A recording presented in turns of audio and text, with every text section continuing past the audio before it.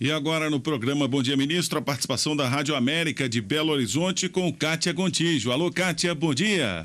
Bom dia, bom dia, ministro Moreira Franco. Aqui é Kátia Gontijo da Rádio América, M750 de Belo Horizonte. Ministro, ao abrir a segunda conferência do desenvolvimento que acontece em Brasília, o senhor afirmou que a situação econômica do mundo está extremamente complicada. Então, pergunto, a situação econômica mundial pode afetar as políticas públicas para a primeira infância, que é um desafio, inclusive, para os municípios? Olha, é, Kátia, bom dia, bom dia, ouvinte da Rádio América de Belo Horizonte. É, eu, eu, acho que a situação é muito delicada e nós temos que ficar muito atentos a esta situação. Nós temos que acompanhar com muito cuidado isso, porque é, nós, é, é, evidentemente, não estamos numa ilha, nós não estamos isolados.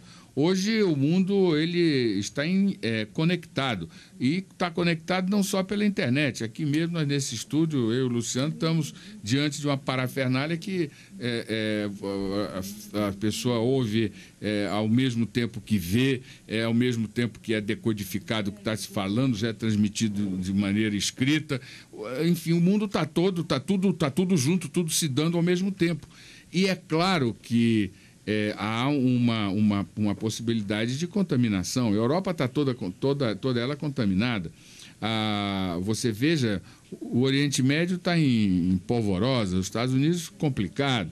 Então isso aí pode, pode chegar aqui. Nós temos, felizmente, é um, um senso de responsabilidade muito grande da presidenta Dilma no sentido de é, acompanhar é, com rigor e com muita coragem, com muita determinação, para evitar excessos. Ela é, tem tomado medidas é, é, que repercute, inclusive, mal no Congresso, criando muita irritação de alguns parlamentares, etc., exatamente para ter controle do gasto público para evitar que nós é, é, é, nos tornemos fragilizados e, consequentemente, com as nossas, as nossas é, seguranças é, é, fragilizadas e passíveis de, da crise contaminar. Porque se a crise vier e nos contaminar de maneira grave, não vai só é, criar dificuldades para os programas sociais, para a primeira infância, não. Vai criar dificuldade geral para todo mundo, para a economia e para todos os programas. Mas,